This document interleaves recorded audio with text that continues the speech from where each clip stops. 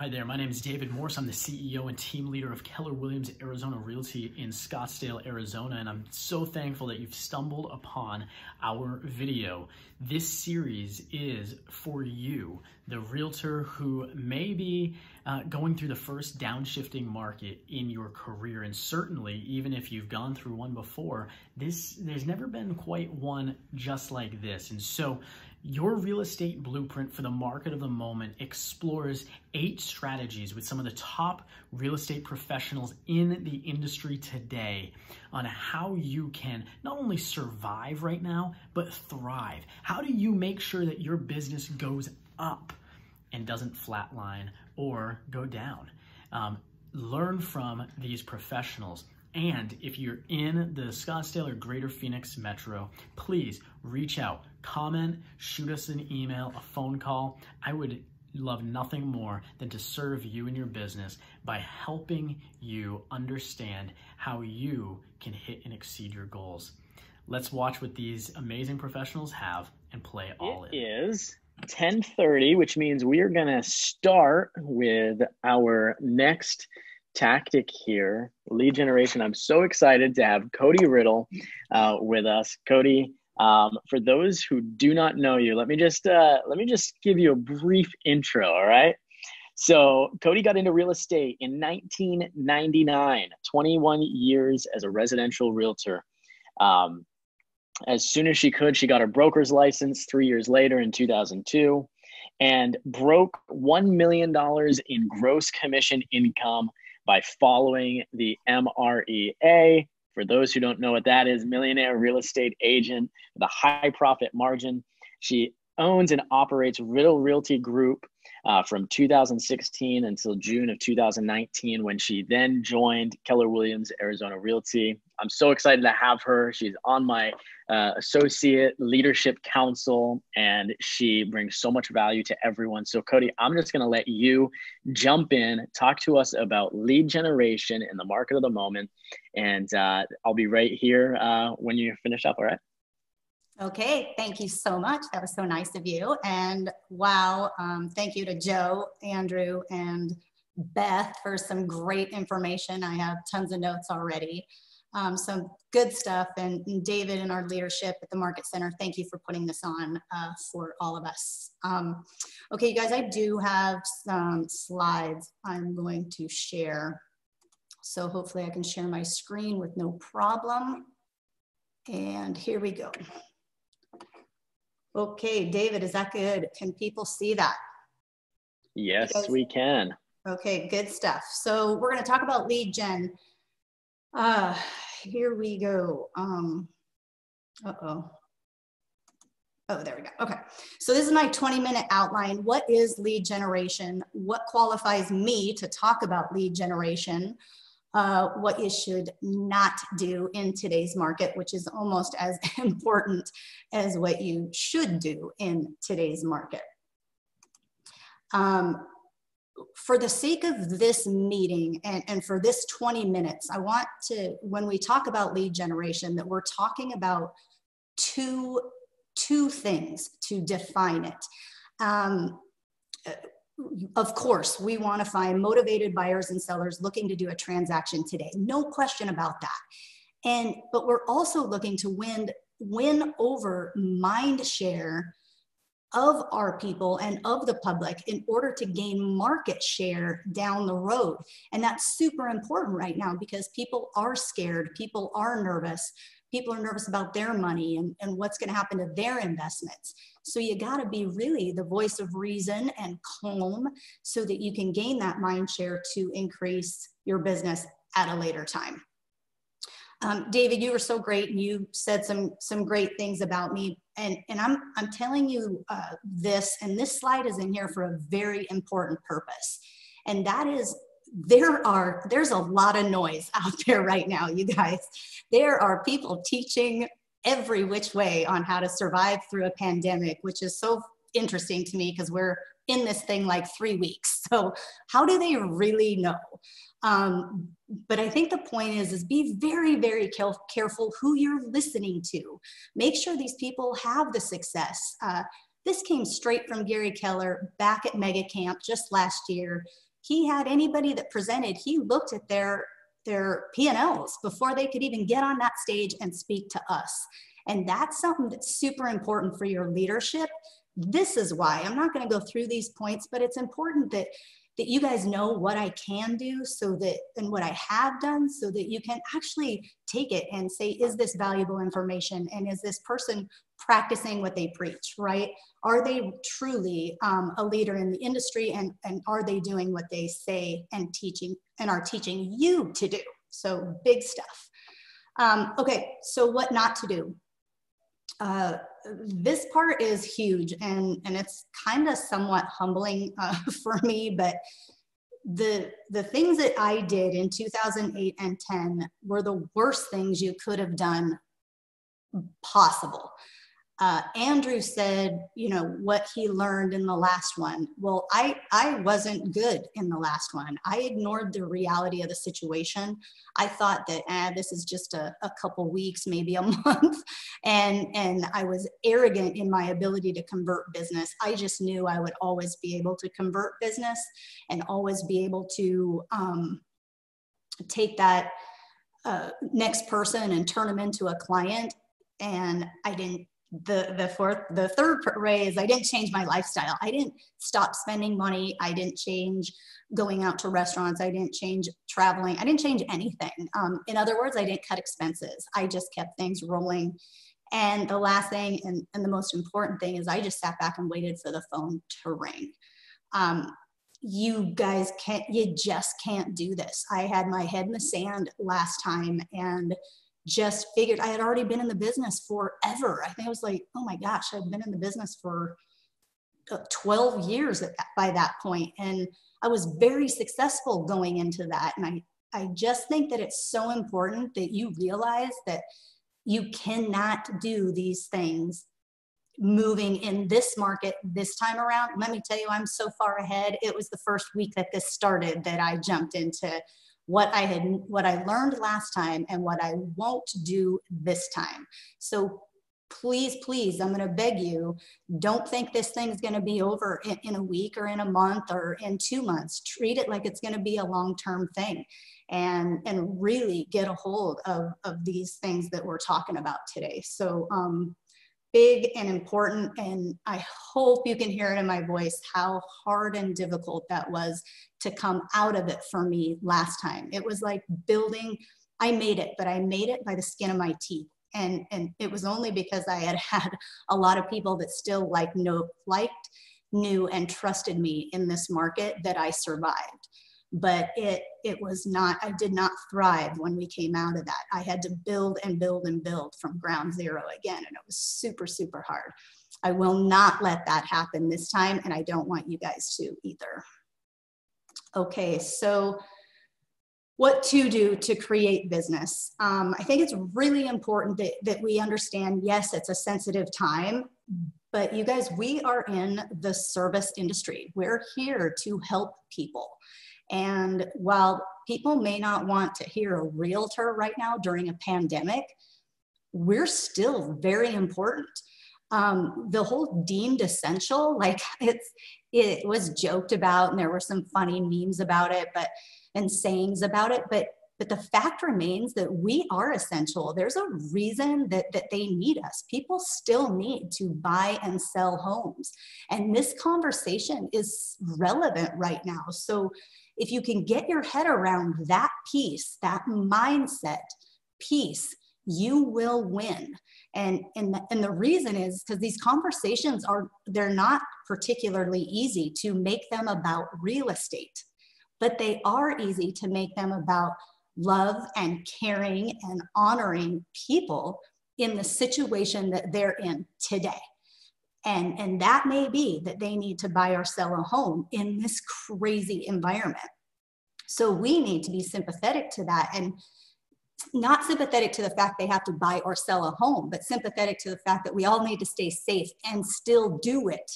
So when you're making those calls, make no mistake, they are still sales calls. They are still calls to, to find and reach people with with that love and kindness and coming from contribution like KW always tells us to do. But but what I what I'm finding is people are really like kind of criticizing a sales call and, and it's just not necessary take pride in it that you're here you're in a service industry and you you are absolutely needed so please please know and, and remember that um, okay this last one and these are all things that in three weeks my team has already done so we're gonna we're gonna go through each one of these. Um, no question, you are gonna check in with your SOI. Now my SOI is huge. I have a massive database of SOI, so it takes us a long time to get through that. And as we're making our calls, like I have our assistant Linda making those calls right now to my personal SOI, Bill and I. And those people are hanging up the call with Linda and then reaching out to me right after sending me text messages, calling me, saying how much they appreciated that one phone call from Linda.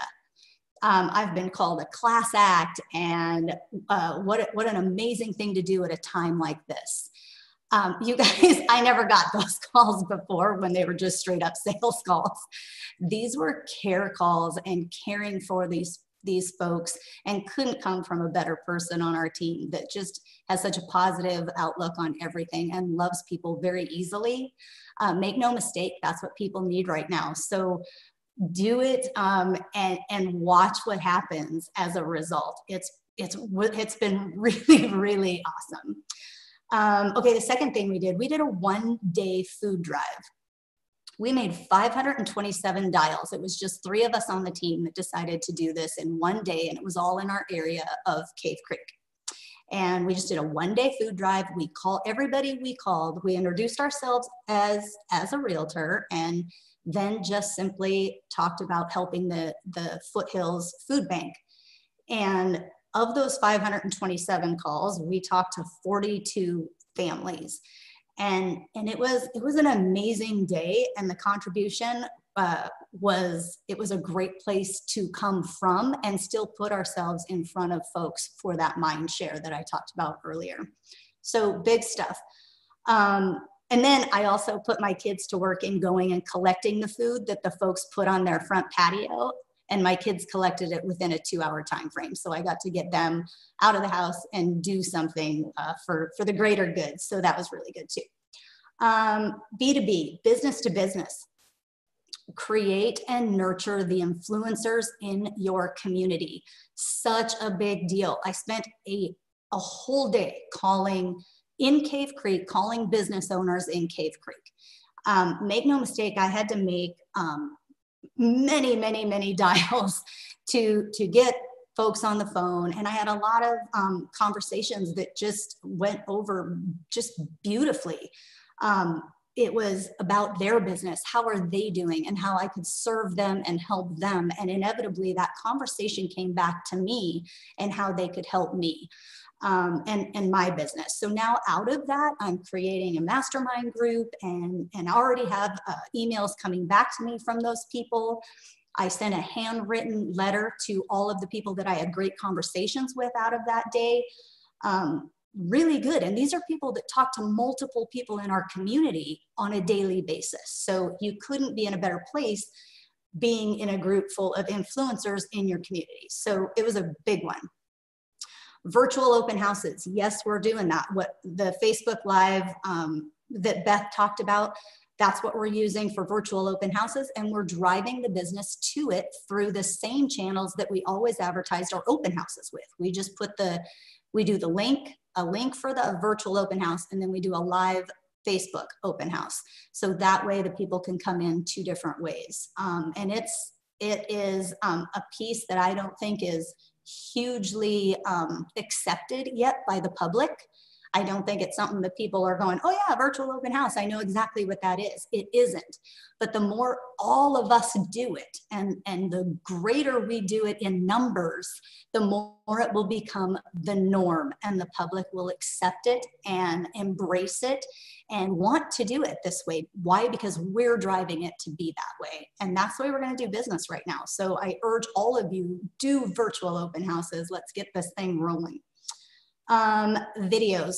I think videos are a monster way for lead gen right now. We are doing a contest. We just started it last week to do a Facebook live video one time per day. Everybody on the team throwing out good, massive content, keeping yourself in front of this, and being the voice of calm for the people listening.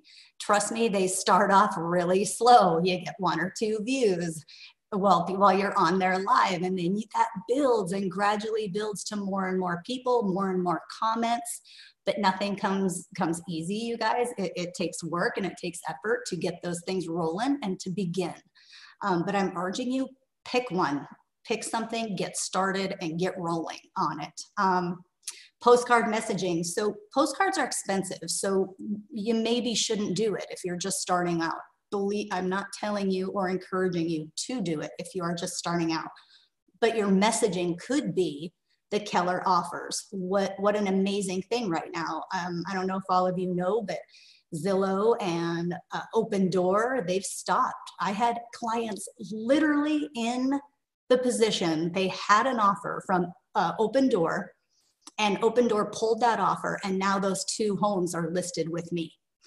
And and I could offer them the Keller offers at first. They they ended it ended up not working for them, and now I'm listed uh, as a full blown listing um, on MLS. Both of them are coming on the market this week. So every single one of these things have been put into place from our team in the short three weeks that we've been uh, really under this uh, pandemic issue. And so when they say spring into action, they're not joking.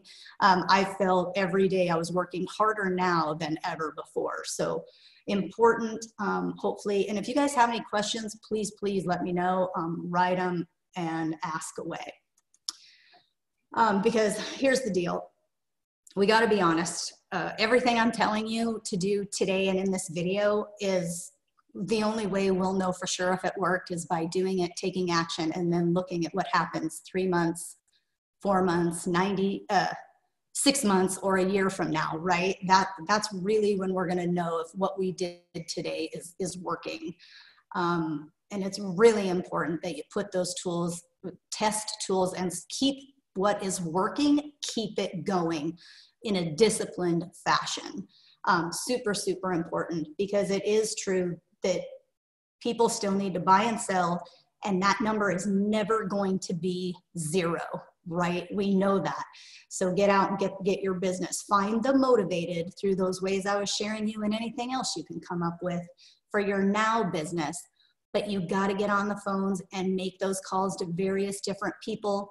Build your database right now and create and earn that mind share so that you can get future and, and have a successful business with better and increased market share.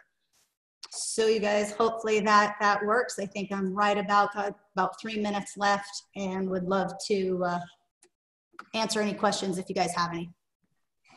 Yeah, let's open it up for questions. Drop them in the chat box for you. One question came in How has turnout been to virtual open houses for you thus far? Yeah, super slow. That's exactly what I was saying, you guys. It's slow and it's not something the public even really knows about. We haven't done those much. Um, so it's something you, we all need to do and get the word out. Virtual open houses, it's a new buzzword. Use it, get it out there and do them so that the public starts embracing that that's the way it can be done and done successfully. I won't be able, it won't work if I just do it. We all have to do it. I so, love that you I, I love that that's how you framed it. I mean, what we do in mass collectively is what will be accepted. It's it's the theory of uh, innovation of diffusion. It, it, there will be late adopters, but it's the early adopters who are going to drive the um, adoption rate. And so let's all do it together and be the educator when you're doing it. Don't just throw up virtual open house, but explain to people what that means. That's exactly what you're getting at. Here's another question How long will you try or test something new before you change it in this shift? That is such a great question. Holy crumb. Um, I will tell you that my driver for anything I do is is how much money I make out of it, right? So you I can't even begin to tell you numbers and for at least 3 months, but you got to do something for 3 months and then see what comes from it after that. So it it's important, and you guys saw the list. I'm doing a lot of stuff, so most of those things are going back to what Andrew said. They're hardworking things. It's not spending a lot of money. It's spending a lot of my time and my effort. I will do those forever and ever, and those will always work. And so I won't be spending money too quickly, though. And none of this is costing me a ton of money. Those postcards I sent out, a postcard on Keller offers, did well on my first one, but I'll be watching that income on phone calls the incoming phone calls very closely because those are super expensive. And I'll only do those probably one more time and see. So that's a one month of postcards sent twice. Yeah. So hopefully yeah. that answers your question. It isn't super clear, but you really you can't stop doing anything for a long time. You have to get those numbers and the discipline, and then the numbers come from the discipline later. And only if it's at least a five times should you keep it around. I love that. And here's a here's one more piece of advice that I find a lot of realtors forget it doesn't matter how long you test something if you do not have some period of time blocked into your calendar so that you can observe the results of that. So many people will try something and then just theoretically believe what they want to believe about whether or not it worked instead of actually looking at the data. So if it's one month, if it's three months, then sit down and take a hard look at it. Um, last call for questions here. The person said, Great answer, Kodi. Perfect. Um, All right. I don't see anything else. Kodi, thank you so much for taking some of your valuable time. Get back to uh, lead generating and have an amazing day. I'll talk to you and see you soon. Okay. Thank you, David, and thanks all for yeah, listening. I want to thank you so much for joining us for this portion of this training, your real estate blueprint for the market of the moment. No matter where you are in your business, I hope that you were able to take at least one piece of information that you are going to go and implement right now. Hey, if you find yourself in the greater Phoenix and Scottsdale metro and you need more specific information and business consultation, I'd love nothing more than to serve you by uh, talking with you about your business. Hey, we are in this together because I know when we help one another, we all grow and we all get through this together. So, hey, if you gain value from this, I would love nothing more than for you to hit the subscribe button down there, turn on notifications, hit that little bell, and stay with us as we continue to share valuable insights about thriving in the market of the moment.